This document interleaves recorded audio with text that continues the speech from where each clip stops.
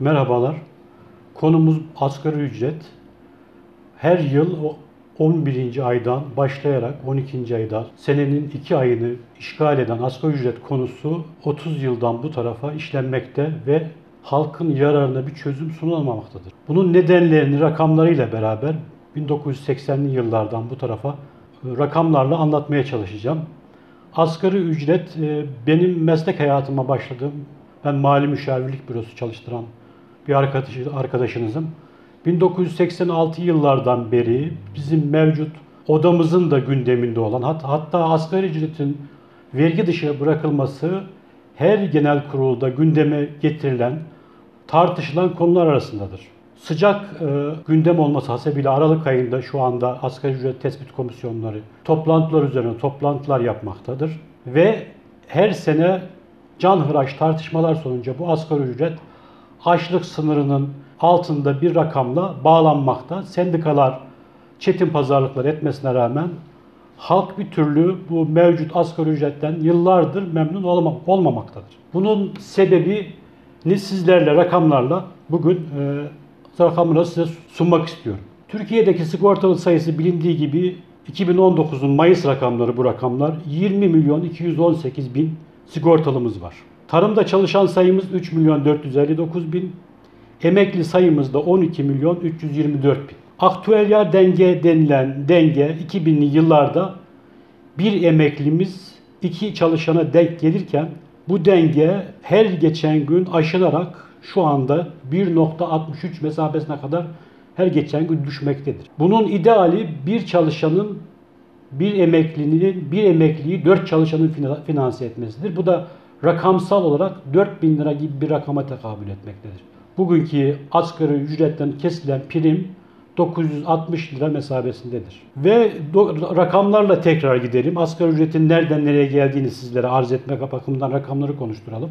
1990'lı yıllarda asgari ücretli aldığı maaşla 11 buçuk 11 11 buçuk çeyrek altın alırken 2011'li yıllarda malum o yıllarda altın e, ons olarak bayağı bir zirve yapmıştı. 1910'lu seviyelere kadar gitmişti. O, o günlerde 4.25, 4 çeyreğe kadar düşmüş. Bugün ise yine 4.5 mesabesinde. Aradan 2000, 2011, 2019 yaklaşık 8 yılda getirildiğimiz durum sosyal devletteki aşınma aşınmayı hesap edersek 2000 ile 2019 arasında vatandaşın alım gücü 11,5 çeyrekten 4,5 çeyrek mesabesine düşmüş.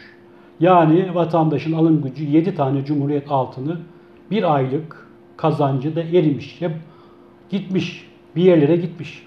Bunun e, mevcut kapitalist sistemin e, doğası kar odaklı olduğu için mevcut kapitalist sistemde bunun çözümü yok. Çözüm çözümü olmadığını siyasilerimiz, iktidarlarımız, her gelen iktidarımız bunu çözüm çözüm odaklı her ne kadar söz verilse de bu sonuç vatandaşın lehine sonuç alamamakta.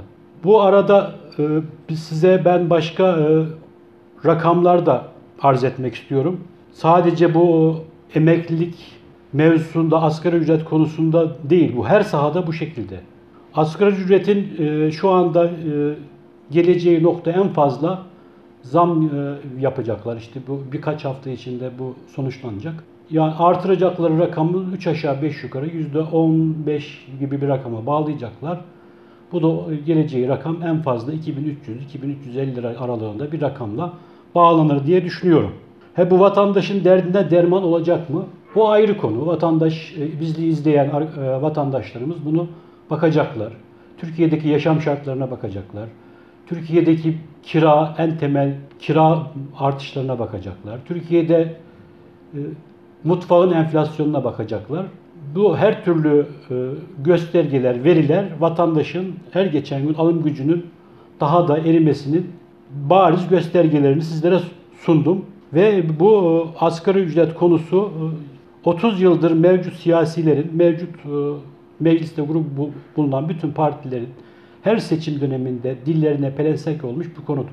Ve çözüm adına da buradan bir sonuç 30 e, yıllık meslek hayatımda ben hiç e, çözüm adına bir e, yaraya merhem olacak bir şey göremedim siyasilerde.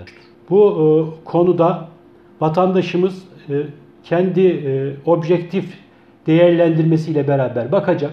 Niye siyaset kurumu bu soruya, bu konulara, bütün konulara, tarımdan tutun da eğitime, eğitimden e, ulaşıma, vatandaşın derdini derman olacak çözümler bulamıyor, bulamamaları konusundaki çaresizliklerini vatandaş, bizi izleyen vatandaşlar şöyle bir de- etraflıca, detaylıca, derinlemesine analiz ve düşünmelerini ben kendi adıma istirham ediyorum. Yani söz verilip, bu yıllardan beri söz verilip, her seçim satımı halinde bu sorunlar niye vatandaşın yarasına merhem olmuyor diye bir analiz etmelerini kendilerinden istirham ediyorum. Sizlere rakamları sundum. Bugünlük e, bu e, konuyu değerlendirdik. Saygılar sunuyorum. Teşekkürler.